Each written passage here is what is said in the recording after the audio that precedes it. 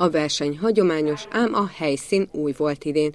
A Sátoraljaújhelyi Kazinci Ferenc általános iskola ebben a tanévben is megrendezte az oktatási intézmény diákjai számára azt a vetélkedőt, melynek középpontjában a nyelvújító életútja, munkássága állt.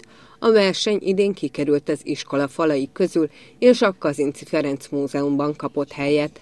Ezen az éven három héttel ezelőtt a hatodik osztályosaink egy pályázat keretében, amelyet a Magyar Nyelvmúzeuma nyert meg négy napos múzeumpedagógiai előadásokon, illetve foglalkozásokon vettek részt, és nagyon sok jó ötletet kaptunk mi is ez alatt a négy nap alatt. Úgy gondoltuk, hogy talán most egy kicsit színesítjük, ezekkel a feladatokkal változatosabbá tesszük az eddigi hagyományos vetélkedőnket.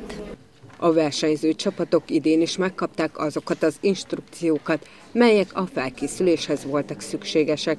A gyerekek elsősorban a kazinci életét és munkásságát összegző kötetből készülhettek a versenyre. A már megszokott totó mellett az idei év különlegessége volt, hogy a diákoknak a múzeum termeiben kellett megkeresniük a válaszokat a feltett kérdésekre. Osztályonként külön-külön készültünk fel, mindenki, aki jött ide, az kapott egy lapot, azt elolvasta, meg kellett hát úgymond tanulni. Hát jó, nagyon izgalmas, mert hogy már azért én is jártam sokszor a Kazinci Múzeumban, úgyhogy tudok segíteni a többieknek is.